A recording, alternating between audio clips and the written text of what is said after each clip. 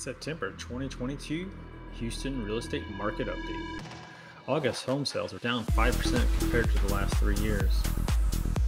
The home buyers have decided to take a break amid record home prices and rising interest rates.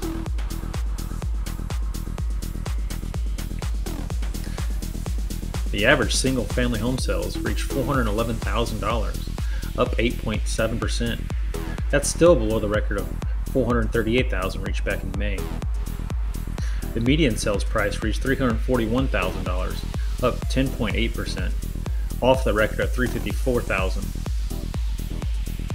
Single family home sales inventory still sits at 2.5 months, the highest since August of 2022, as single family rentals almost reached $2,300 a month.